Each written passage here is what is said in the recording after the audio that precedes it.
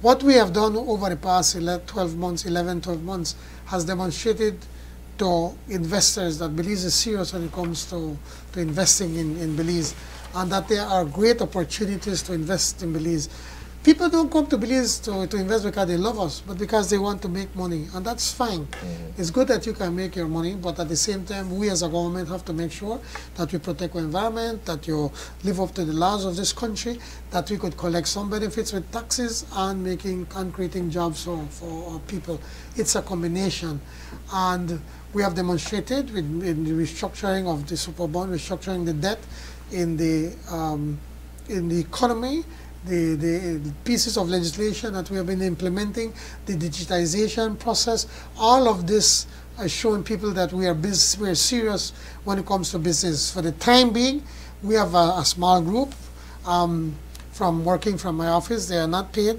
Um, that uh, whenever any business person have any issue with BELTRAIDE or environment, or they, they go in there or lands physical personally to go and see what's holding it to be able to to get it through. And they've been having a number of um, accomplishments by, by, by doing that until we can put in place where we digitize everything and everybody can see what is taking place. Mm. So I think that we have done a good job in, in, in convincing people. That's why, as I said, the former um, Prime Minister Harper from Canada is going to be our guest speaker. Mm -hmm. We have the Vice President from the IDB. We have the UN UNDP um, representative that is from going to be here. Um, CABEI is going to be here. I think CDB will be here.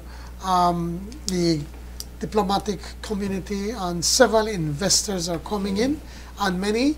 We are going to have um, several hundreds that are going to be logging in virtually for the, for the opening um, um, ceremonies. But from what we have seen, uh, we're, we're looking at areas investment in, in agriculture, in tourism, in energy, and the BPOs and services sectors. These are just some of the areas that, that you can come and, and invest in, in Belize.